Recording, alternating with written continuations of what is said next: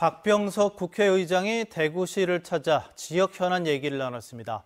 국회의장 행보로는 매우 이례적인데요. 현안 논의에 이어 삼성그룹 고위직도 만나서 최근 유치전이 벌어진 이른바 이건희 미술관도 언급했습니다. 조재한 기자입니다. 박병석 국회의장이 처음으로 대구를 공식 방문했습니다. 코로나19 사태 초기 큰 혼란을 이겨내고 세계 방역 모델이 됐다며 대구 시민 의식을 축켜 세웠습니다.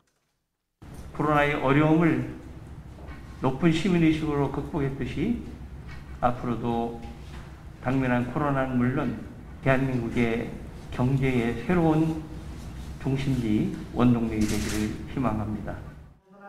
대구시는 흔치 않은 국회의장의 지역 방문을 지역 현안 공감대를 넓힐 기회로 기대했습니다. 특히 4차 국가 철도망 연구 용역 결과에 빠진 달빛 내륙철도 반영과 대구 경북 통합신공항 특별법에도 힘을 실어달라고 요청했습니다.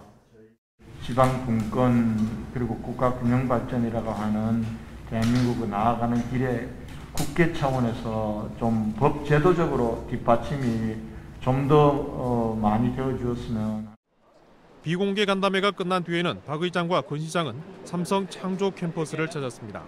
삼성 고위직이 함께함 가운데 삼성과 대구와의 관계를 강조했습니다.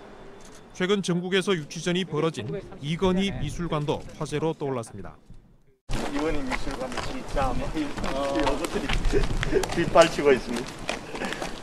그거 미술관 제 작품 많이 갖다 놓으면 해외로 많이 안 갔어요.